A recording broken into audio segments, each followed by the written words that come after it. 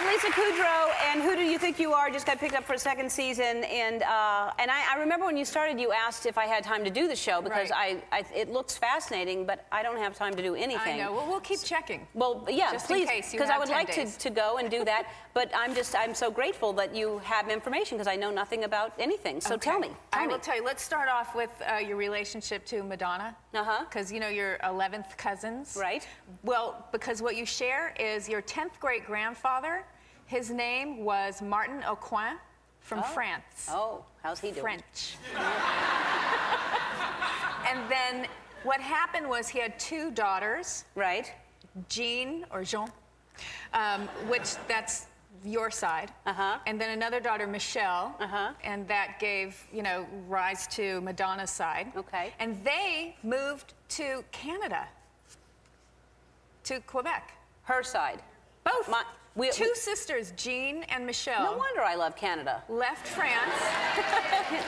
and they were, oh, Nova Scotia. They, and they moved to, they were in Nova Scotia. So then what happened on your side was your fifth great grandfather, his name's Joseph Martin. This is on your father's side, by the way. Okay. Okay. I don't know anything about my father's side because my father's father died when he was young.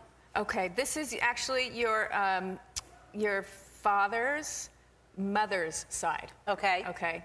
This is Ruth's side. Ruth, yes. Her name was Ruth. So this is her side. And then her, her, your fifth great grandfather is named Joseph Martin, and he's the one who moved the family to Louisiana in the late 1700s. Did you know your family went that far back? To the 17, I, I knew pretty far back, but I hadn't, so we own Louisiana?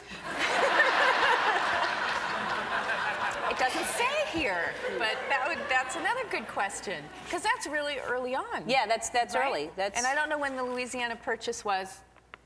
Well, they probably purchased it Anybody?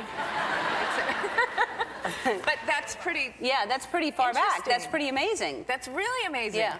All right. All right. So now we can talk about because now I have on my cards okay. other things. Um, so your grandfather, your father's father, mm-hmm. his his name was um, Everett.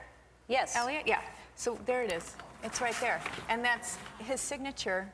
Do you see wow. it at the bottom? Yes, that's, and at the top. That, that's yeah. amazing. Yeah.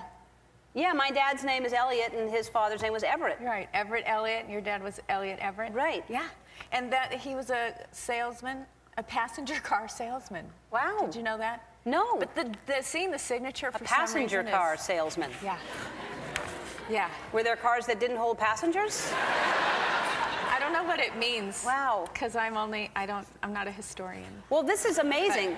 But, All right, I'm seeing Louisiana Purchase, so it was 1804. So clearly, this was before. They took it away from my family. I am so glad to know this information. But that means they settled Louisiana yes. before it was before it was settled. The US. Every they settled. Before settled. it was part of the U.S. That's fantastic. All right, now what else we can know about your uh, grandfather mm-hmm. is what he looked like. He was tall and slender, with blue eyes and light hair. Did you know that you probably looked like him? Now I do. Wow, that's just fascinating. Isn't it great? That's, that's amazing. All right, I, I got to find out more. You have more stuff for me to, to go home with, right? Yeah, I have your some of your mother's side. Good, because my mom is here. She's like, what about me? So, That's great. All right. So, uh, th- thank you so much for oh. telling me all that stuff. You're welcome. All right.